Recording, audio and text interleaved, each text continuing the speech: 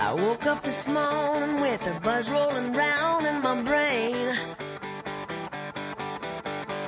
I haven't been drinking, but it feels pretty good just the same. It must be contagious, it looks like it's going around. It's cool.